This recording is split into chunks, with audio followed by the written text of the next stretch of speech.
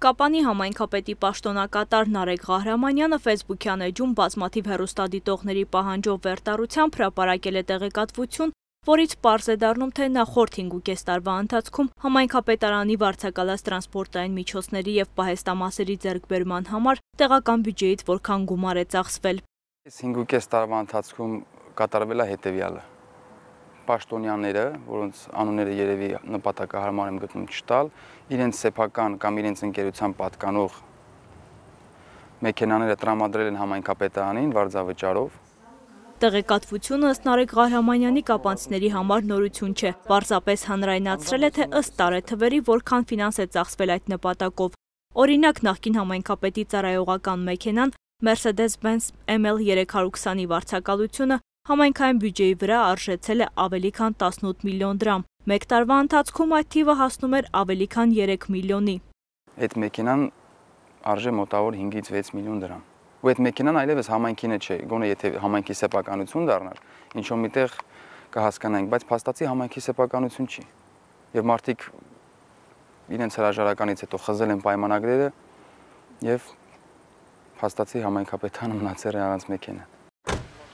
Իսկ ժառանգություն մնացած համայնքի գույք հանդիսացող ջիպ Pajero Mitsubishi Magnishi մեքենայի միայն պահեստամասերի ծախսը 5.5 տարվա ընթացքում մոտ 3.5 միլիոն դրամ է եղել։ Համայնքապետի պաշտոնակատարի խոսքով այս մեկ ամսվա ընթացքում մեքենան հիմնականում կայանած է լինում։ Շահագործելու դեպքում էլ խափանումները անխուսափելի են։ Մենակ այս տարվա 6 ամսվա ընթացքում 1.5 միլիոնի ավտոպահեստամաս է արվել, բայց եթե հիմա ինքը գտնվեր սարքին վիճակում եւ կարանք գյուղեր, համայնքներ, վարչական շրջաններ գնալու, դեղ ինչ որ միտեղ արդարացված կլիներ։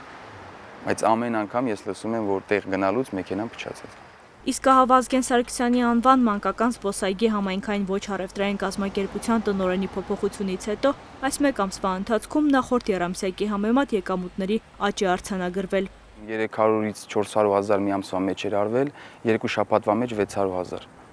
630 հազար։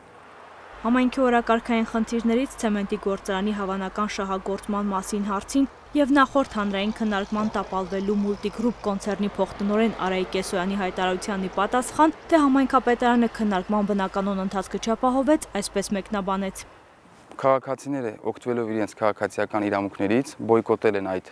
միջոցառումը իմ պարտականությունների մեջ իբր մտնում է ես պետք է կանչեմ ոստիկանությանը կամ մեր անվտանգության ծառայողներին որ այդ մտքի մոտ կանգնած մարդկանց բռնեն ու բռնի ուժով տեղափոխեն վայրից, ինչը բնականաբար չի լինելու։ Մեր քաղաքին պետք է ընդհանրապես ցեմենտի գործարան, բայց ոչ այն դիրքում, որտեղ պետք է ստեղծվի։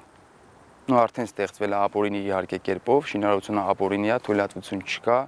կատարվել է նաև հողազավթում համայնքի հաշվին 116 քառակուսի մետր, Կառավարությունը օգոստոսի 23-ի նիստում որոշել է Կապանում արտահերտ ընտրությունների անցկացման օրը։ Հոկտեմբերի 21-ին խոշորացված համայնքի բնակիչները նոր համայնքապետ կընտրեն։ Արդյոք Նարեկ Ղարամանյանի տեխնատությունը կտեսնենք ընտրապայքարում։ Եթե այո, ապա ինչ թիմով է պատրաստվում մասնակցելու ընտրությունների հարցին պատասխանեց։ Իշխող կուսակցության անդամ եմ եւ